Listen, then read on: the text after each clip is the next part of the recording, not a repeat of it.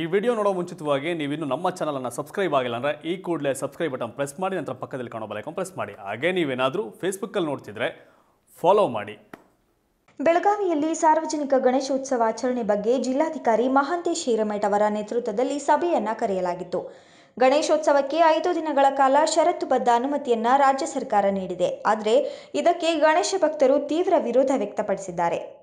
ಹೀಗಾಗಿ ಮಂಗಳವಾರ ಬೆಳಗಾವಿ ಡಿಸಿ ಕಚೇರಿಯಲ್ಲಿ ಜಿಲ್ಲಾಧಿಕಾರಿ ಮಹಾಂತೇಶ್ ಹಿರೇಮಠ ಅವರು ಗಣೇಶ ಮಹಾಮಂಡಳ ಮತ್ತು ಅಧಿಕಾರಿಗಳ ಸಭೆಯನ್ನ ಕರೆದಿದ್ರು.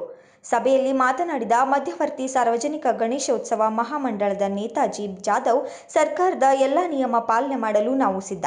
ಕೋವಿಡ್ ನಿಯಮ ಅನುಸರಿಸಿ ಉತ್ಸವ ಆಚರಣೆ ಮಾಡುತ್ತೇವೆ. ಕೇವಲ ಐದು ದಿನ ಮೂರ್ತಿ ಪ್ರತಿಷ್ಠಾನೆ ಮಾಡಲು ನಮ್ಮ ವಿರೋಧ ಇದೆ. ಸಂಪ್ರದಾಯದಂತೆ ಹತ್ತು ದಿನ ಉತ್ಸವಾಚರಣೆಗೆ ಅವಕಾಶ ಕೊಡಬೇಕು ಎಂದು ಮನವಿ ಮಾಡಿಕೊಂಡರು.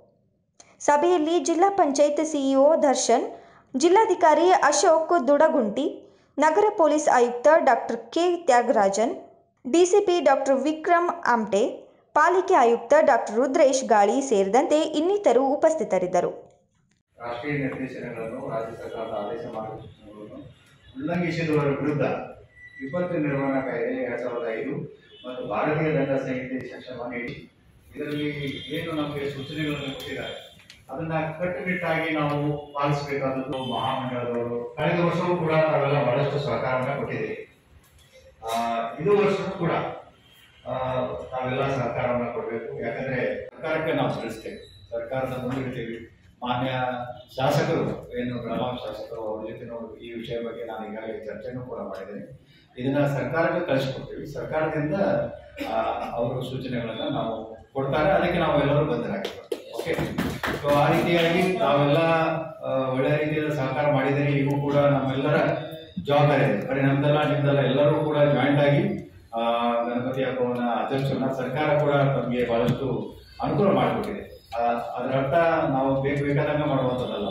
ಬಹಳ ಕಟ್ಟುನಿಟ್ಟಾಗಿ ಬಹಳಷ್ಟು ಜಾಗೃತಿಯಿಂದ ಯಾಕಂದ್ರೆ ಎಲ್ಲರ ಮನೆಯಲ್ಲಿ ಸಣ್ಣ ಸಣ್ಣ ಸಣ್ಣ ಮಕ್ಕಳಿದ್ದಾರೆ. ಸೊ ಅವರಿಗೂ ನಾವು ಬಹಳಷ್ಟು ಕಾಪಾಡಬೇಕಾದಂತ ಜವಾಬ್ದಾರಿ ಇದೆ. ಮಕ್ಕಳಿಗೆ ಬಹಳಷ್ಟು ಅಟ್ರಾಕ್ಷನ್ ಆಗೋದು ಇಲ್ಲ. ಯಾರ ಕಡೆ ಡೊನೇಷನ್ ಯಾರು ತರ್ತಾ ಇಲ್ಲ.